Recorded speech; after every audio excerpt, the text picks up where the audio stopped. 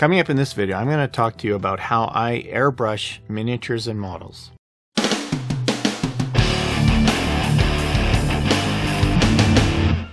Hey everyone, welcome back to Mini Junkie. So I said off the top, uh, this video is going to be all about how I approach airbrushing miniatures and models because I use my airbrush in a lot of my videos and I do see a lot of comments about how do I do this? Either how do I do it without an airbrush or how do I go about get, getting started with airbrushing or what is your airbrush setup, etc. Now I'll mention this a bit later in the video, but when it comes to the actual equipment, when it comes to the actual airbrush you're using, there's so many videos about that on YouTube right now. Um, and Rob Paints Models just did a really good one where he went all over the types of airbrushes, brands, compressors, etc. And I'm not going to reinvent the wheel because it's just not necessary. It's already been done. But I will talk a little bit about the kind of gear I use. More so, I want to talk about how I approach using an airbrush to to paint miniatures how do you know what's the philosophy of it how how do you go about it what steps do i use an airbrush for and what steps do i not use an airbrush for that kind of thing so it's more about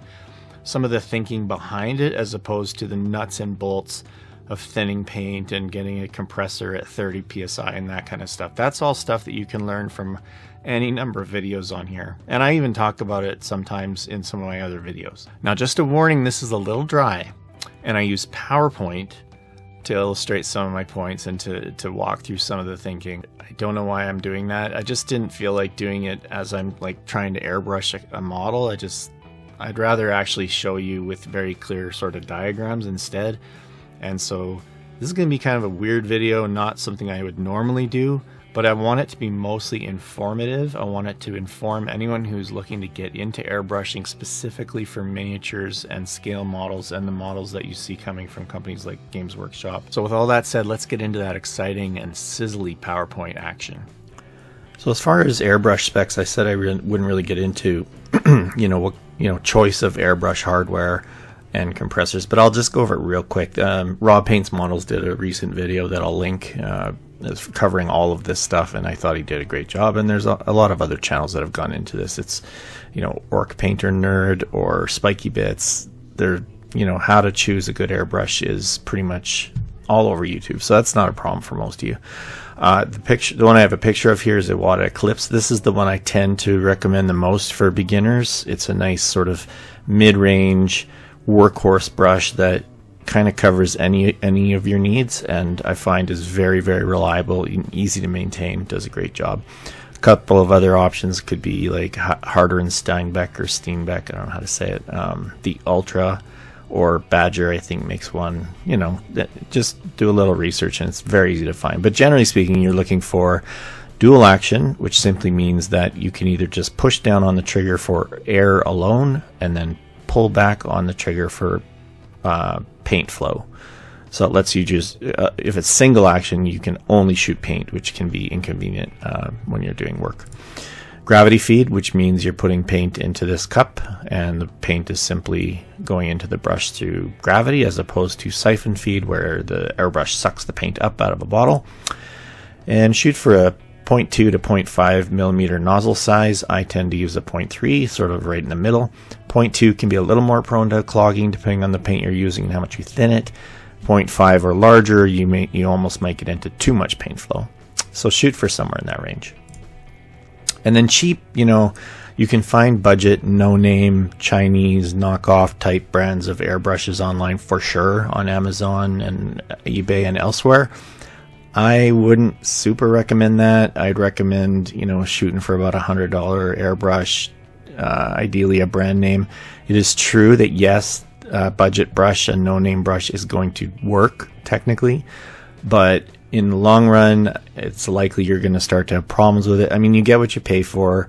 Uh, you're going to find it has cheaper components, cheaper seals, cheaper valves. You know, I found I, I tried buying one just to try it out. I found it heavy and clunky. So there's not a lot of preci- precise machining going on there, or uh, you know, nice materials. And the thing is, if you're starting to airbrush, eliminate the things that could cause you problems. And one of the things could be buying a cheap ass airbrush. Sorry, I, this should be a family channel. If you buy a good name brand airbrush, you are just more likely to have a good experience and then you're more likely to stick with it and learn to become really adept at using it. So I'm always in favor of just buying the best you can afford to buy so that you can worry more about air pressure and paint consistency versus is your airbrush a piece of garbage and just giving you trouble because it's cheap. Compressors. I use um, this one up here. It's way overkill for the majority of, of hobbyists. It has two airbrush uh, outlets, so I have my siphon and my gravity feed attached to it. But yeah, it's totally overkill. Generally speaking, shoot for an, an airbrush or go for an airbrush um, compressor that looks like one of these pictured. Usually, a starter would be this one here, this Iwata on the bottom left. Uh, or you could go for something a little bit more of a step up. I think Rob Paints models had something like this. But for specs, look for something that says it's maintenance free, oilless, comes with a moisture trap, so that's this thing here, which prevents water. You know, the compressor will build up water from doing its thing, and that water can make its way into your air hose and cause all kinds of pain and suffering as you're splattering paint everywhere. That's what this uh, trap is for. And you see this one and this one, they all basically have it. And quiet operation is nice if you're going to be doing a lot of airbrushing. They can get really loud, um, but so if you get a nice quiet one, it's going to be a little more pleasant to use and more pleasant for your family or your neighbors. Um, I you can technically go to the hardware store and get a compressor used for tools or something, but then you're going to be looking for adapters to adapt that to whatever hose and airbrush you're using. And you may find it's loud and clunky. It's just it's not made as a hobby thing, it's made as a tool construction thing. So I don't know. I'm all about getting the right tool for the for the job, and for me, that's what these are. Um, so I wouldn't personally recommend a hardware store compressor. All right, guys, I'm using PowerPoint just to give you a visual of the the concept of how an airbrush works, so that when you're spraying, you'll understand um, how your distance and how much air and and how much you're pulling back on the trigger and all that kind of stuff is affecting the paint job you're applying on any particular miniature. And this is hopefully that's close to scale. Didn't spend a long time figuring it out. This is the airbrush I use the most. Um, Iwata HPC Plus. I think I misinformed someone in the comments of another video about which which airbrush I use. Uh, it's a little high end. You don't necessarily need something this fancy. So yeah, I don't want to talk about that. I want to talk about how you actually paint these models and miniatures with your airbrush. Okay, so the concept here is that the airbrush shoots a cone of paint. The cone is you know denser with paint and more narrow. The cone, uh, the closer you are to the to the nozzle of the airbrush. As you get further out, you're going to get a wider dispersion of paint, and it's going to be more diffuse. So it's going to be more, you know, speckly. Um, you know, it kind of depends how how hard you're you're sort of spraying, but the further out you go, you're going to get sort of a, a, more diffuse coverage on your model, and it's going to cover a larger area. So, for example, if you're trying to spray your Space Marine and highlight his knee pad, and you spray from this far away, the whole Space Marine is going to be blue. But if you hold the Space Marine really close to your airbrush, and you pull back gently and carefully and slowly on your trigger to let the paint out, you can actually you'd be surprised how small of an area you can actually highlight with an airbrush. Um, don't recommend that necessarily for beginners, but that's the concept. Back when you're out here, this is how I recommend people think about an airbrush in terms of priming or applying varnish. I mean, when, I, guess when you're varnishing, maybe you want to be like around here as far as distance and as far as how big the cone is. And you know that way you're getting getting your coverage. Or if you're trying to avoid metallics, you could maybe even do it closer up.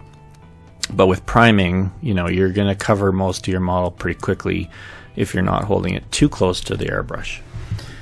That's it. That's the concept. The airbrush only knows how to shoot a cone, right? It'll either shoot it, you know, if you open it wide but you don't use too much air, and by open wide I mean just push down and pull back, or sorry, pull back on the trigger so that you're making the nozzle hole big, but you're very gently pushing air out. You're going to have something like that where it's diffusing very quickly into a big pattern and not a focus pattern, and then the and then it's going to be more like this as you pull back and push down fully and you're spraying full air and full paint the close again the closer you are the darker the paint is the more the faster the coverage is going to be this also you know when you're out here it's going to be covering a little bit less quickly because it's so diffuse you're going to need to be spraying for a, a bit longer to, to make sure you get complete coverage.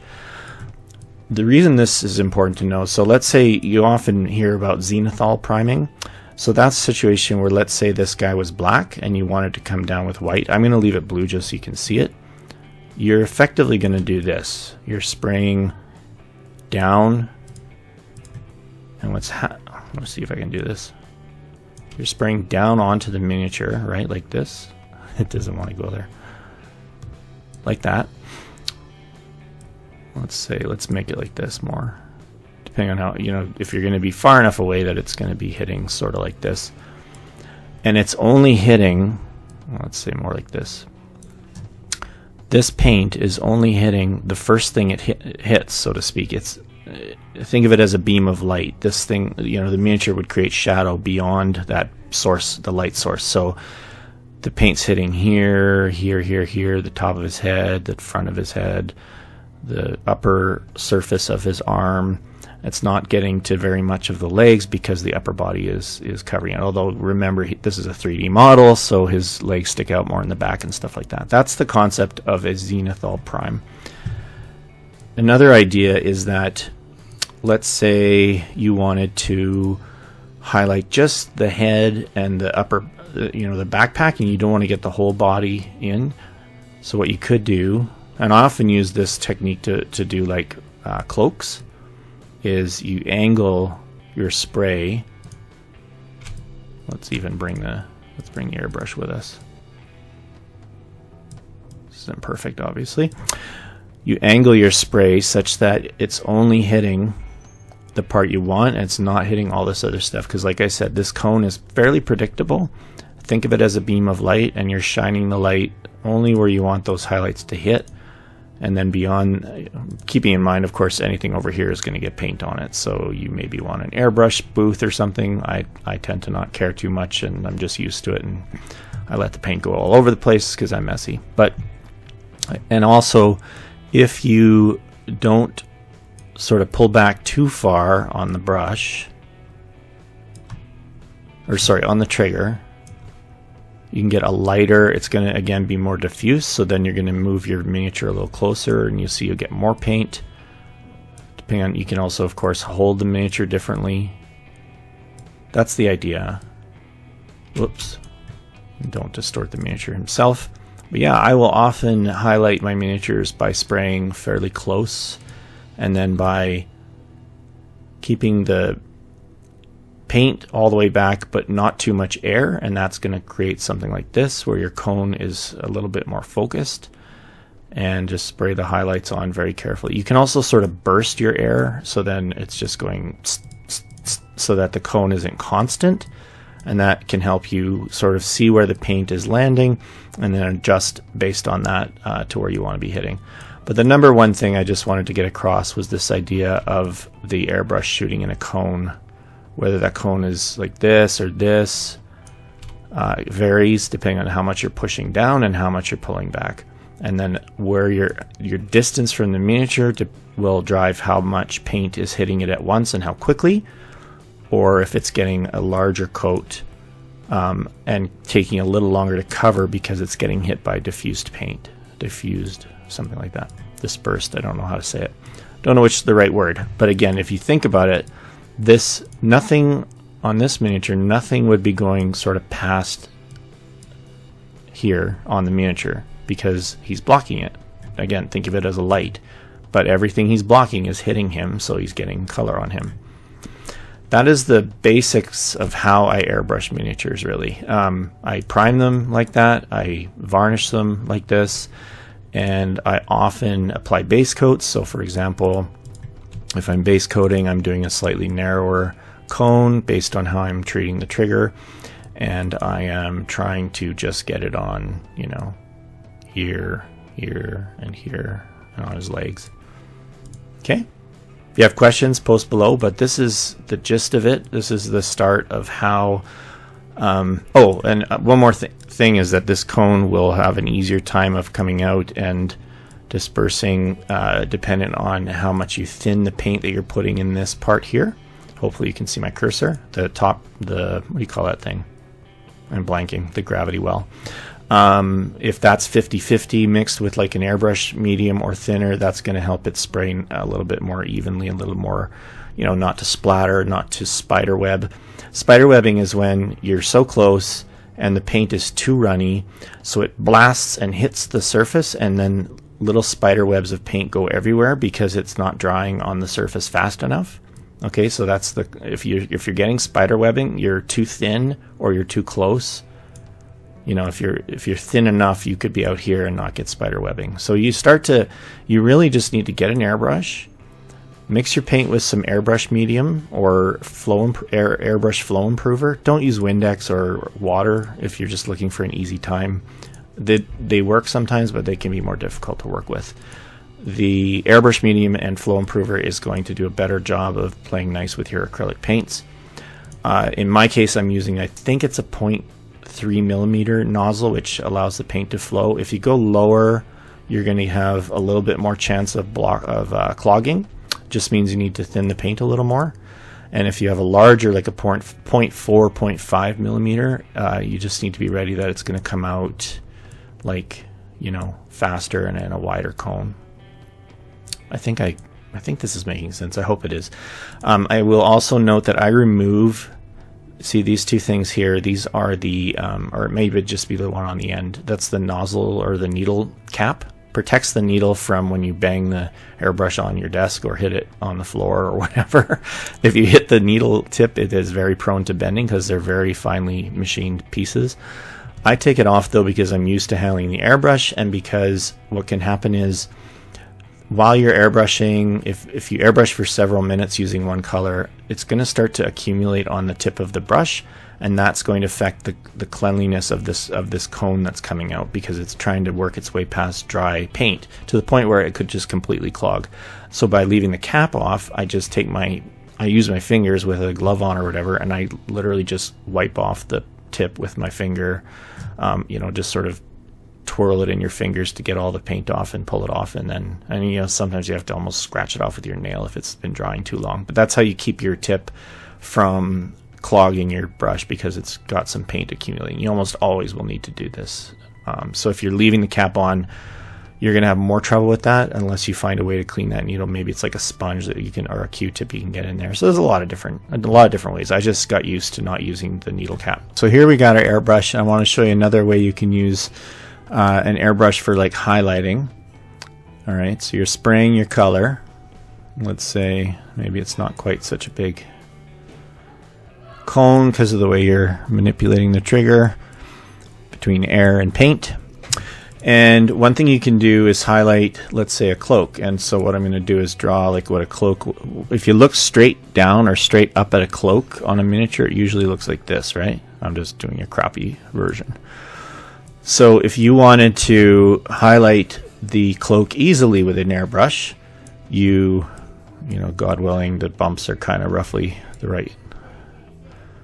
You know, you spray so that the one edge of your cone is only hitting the highest points of the of the cloak. And this is a terrible example. I'm not I didn't draw a very good one.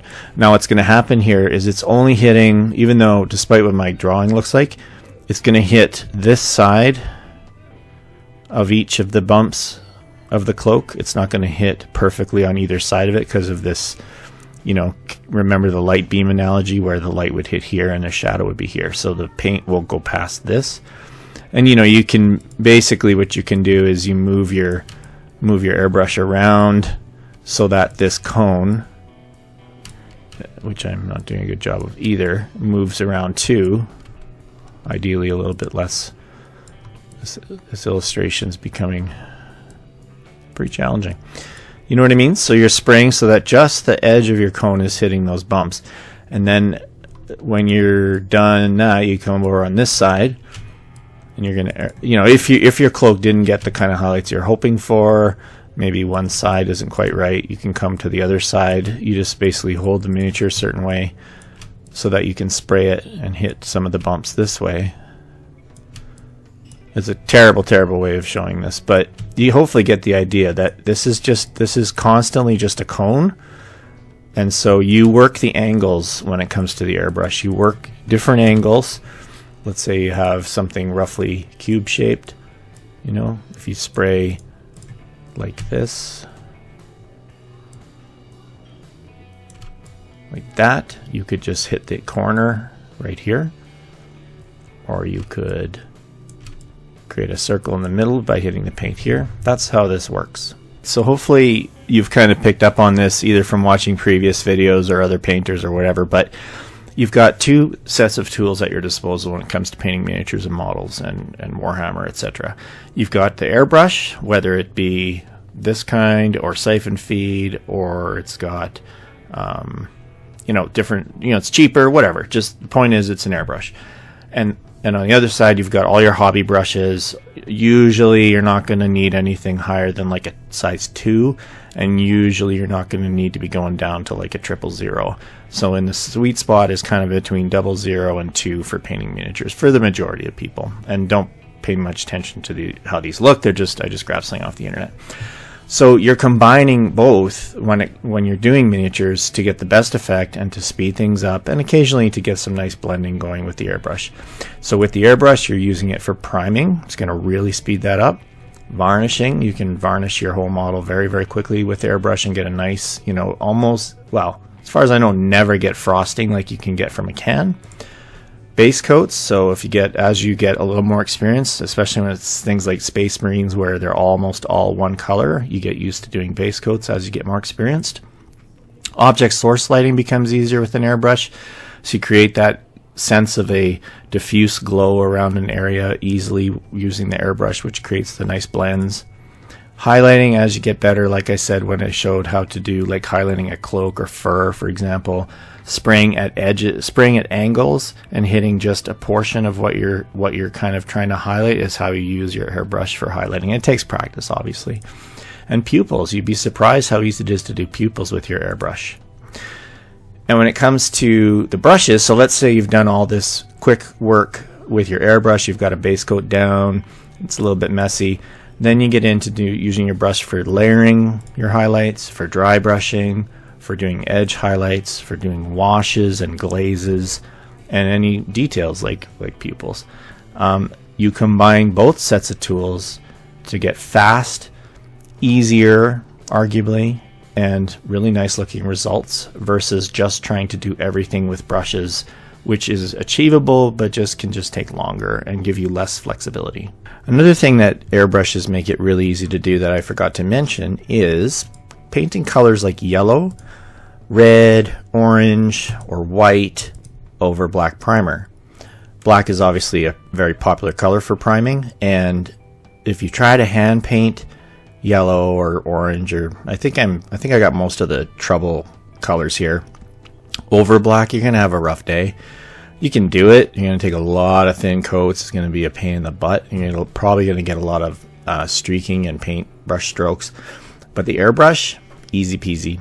You can do any of these colors onto your black primer. It takes maybe a couple coats of you know putting it on thin, but honestly, it's not even that hard, and it'll go on really nice and smooth and get great coverage over your black uh, primer. So in terms of workflow, it's a little tricky to describe this because it's a little more complicated than this, but generally I try to push the harder something's going to be to fix, the later I'm pushing it in my workflow.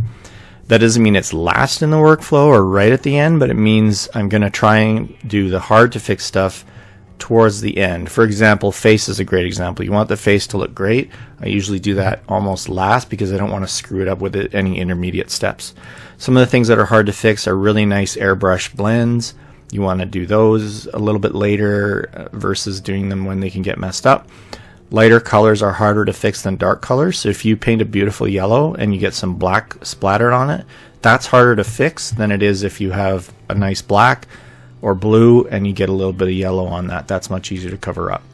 Something like object source lighting, if you get a beautiful, you know, rendition of light hitting a surface, You want to preserve that, so you want to do that towards the end of the process of a miniature.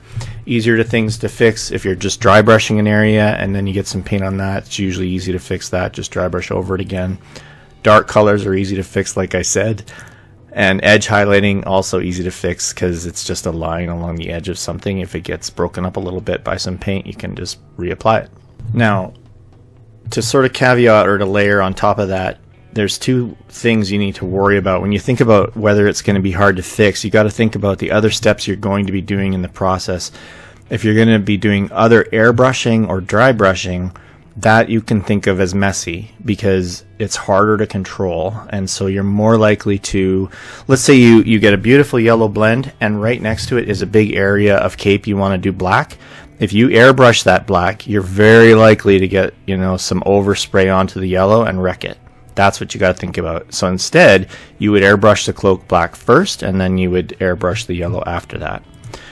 Washes are sometimes hard to control and sometimes not. It depends on the size of the area, so you have to use your judgment there. If you're going to be sloshing it all over the place, you want to be careful it's not going to get on something that you put a lot of work into and it's going to possibly hard, be hard to fix. Things that are neat and controlled, there's layering with a, you know, a size 1, a size 0, whatever it is, or detailing, anything where you're using a brush in a controlled fashion you're much less likely to make a mess or to get it where you don't want it to be. So I would say you can be a little bit more relaxed about those kind of steps a little bit later in your process um, without worrying about wrecking stuff you did previously. You might be hearing piano. I'm not sure. My kid's practicing upstairs. So if I have an average miniature, here's maybe how I would approach the flow of the work. So an example workflow on any given miniature. First, I'm going to prime it with my airbrush, and that could include zenithal priming if I feel like it, but Either way, it's going to be either the white or the black primer. Now the dry brush, it depends on depends on the size of the area that's going to be dry brushed. If it's just a bit of fur and I can be very controlled with it, or if it's the whole miniature, that's going to determine when I'm going to dry brush. So it's a little that one's definitely movable within the flow. Then I'm going to base apply base colors with the airbrush onto the dry primer. I'm going to possibly airbrush highlights by adding a little bit of, uh, you often see me add a bit of bone color to my mix or to my original base color when I apply highlights. And I'm going to spray on a smaller and smaller area and from the angles where the light's coming from. Then I might apply a wash or washes. When that's dry, I may do some layering of the highlights in certain areas. And some of the final steps I'm going to do are detailing you know, like uh, gun handles or lenses or faces, etc. And when everything's dry, the final step is going to be varnish with the airbrush, and then probably basing. These days I do basing last, but that's an idea of how I'm mixing up both using brush and airbrush to do miniatures instead of just using an air. You're almost never going to just use an airbrush, and you're almost never just well if you're wanting to embrace airbrushing, you're probably going to stop using just a brush to paint entire miniatures. Hey guys, quick caveat that I should have said at the beginning of the video, but I totally forgot, and now it's hard to insert with my editing program. Everything you just heard was my point of view, my opinion, based on my experiences and how I approach airbrushing. As with any hobby like fly fishing or photography, there's plenty of people with experiences that differ or will have different opinions on how to airbrush or what to use. That's totally cool. You should watch their videos too and get some different points of view. This was just mine. So that's my thought process and approach to airbrushing miniatures and models. If you have any additional questions, post them below and I'll answer in the comments or maybe even in a future video. I hope you'll consider sharing, liking, and subscribing to the channel, and we'll see you next time. Thanks for watching.